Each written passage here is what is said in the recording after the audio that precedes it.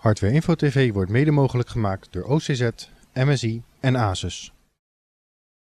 Deze week in Hardware Info TV een kleine Fusion Barebone van Foxconn, bijzondere laptops van Dell en Lenovo en de uitslag van de ROG MyPC competitie.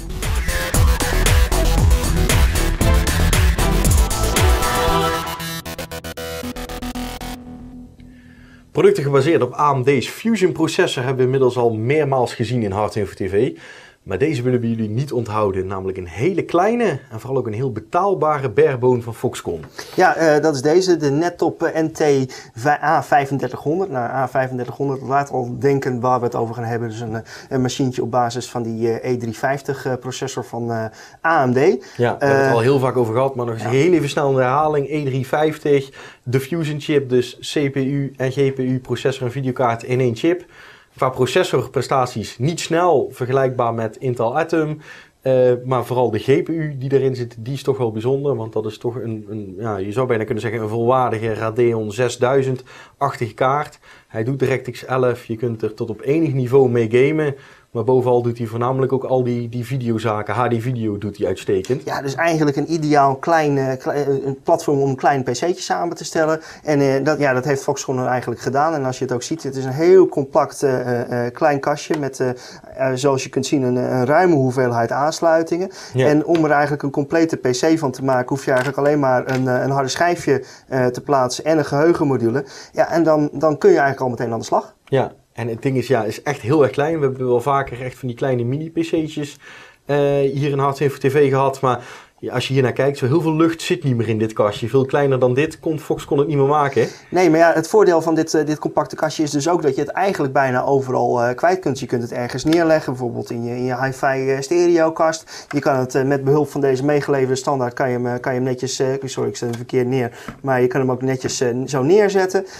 en ze hebben er ook zelfs een standaard bij geleverd waarmee je hem zo in kan schuiven. En dan, dan kan je hem bijvoorbeeld aan de muur bevestigen. Maar het is ook, die, die gaten die hierop zitten, die zijn volgens die VESA-norm dan kan je bijvoorbeeld ook op een VESA beugel of achter op een televisie plaatsen. Daar zitten vaak van die schroefgaatjes. Dus dan kan je hem heel makkelijk en uh, uh, wegwerken. Ja, want eigenlijk via dit ding komen we direct op twee interessante gebruiksdoelen van, van dit kastje. Ja. Uh, als je hem tegen de muur aan wil schroeven, je zou dat bijvoorbeeld in de meterkast kunnen doen. En je zou hier eigenlijk een heel simpel home servertje van kunnen maken. Ja. Uh, stop er een 2,5 inch harde schijfje in, een geheugenmodule.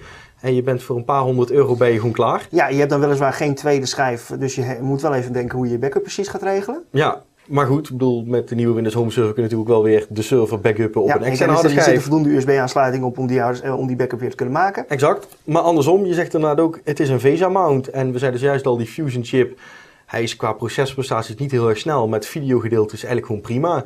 Het zou dus ook eigenlijk een hele kleine, zuinige en stille mediacenter-achtige HT-PC kunnen zijn. Ja, die je dus ook heel makkelijk kunt wegwerken. Nou, je kunt hem ook nog als internet-PC gebruiken en dan bijvoorbeeld naast de monitor plaatsen.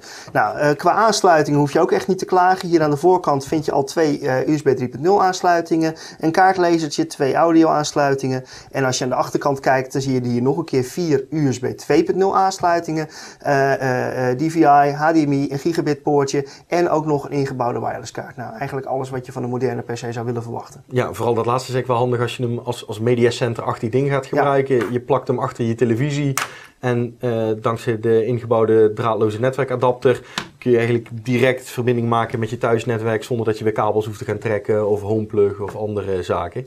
Ja. Nou, we zeiden altijd dat die goedkoop was. Uh, laat het maar eens eventjes het uh, beestje bij de naam noemen. 175 euro, dan heb je dit ding dus. Ja, en dan moet je er eigenlijk nog bij rekenen dat je een harde schijfje en een geheugenmoduletje uh, erbij wil hebben. Dat is natuurlijk een beetje afhankelijk van ja, de, de, de, de, grootte en de capaciteit die je precies wil. Maar ja, zo'n eenvoudig pc'tje als dit kan prima toe met 2 gigabyte moduletje. Ja, en, nou, dat, is, dat is een paar tientjes. Ja, en, en een, een, een 2,5 inch harde schijf, die, die, die Samsung M7 640 gigabyte in onze laatste test van 2,5 inch schijf heel goed uit de bus kwam, kost zo'n 45 euro. Dan heb je dus 640 gigabyte. Ja, en als je er nog een besturingssysteem wil hebben, bijvoorbeeld home server, dat is laatst wat goedkoper geworden. Dat kost dan rond de 4 tientjes, 4, 5 tientjes nog. Nou, dan heb je een compleet systeem, maar je kan er natuurlijk ook XBMC bijvoorbeeld opzetten. En natuurlijk ook gewoon Windows.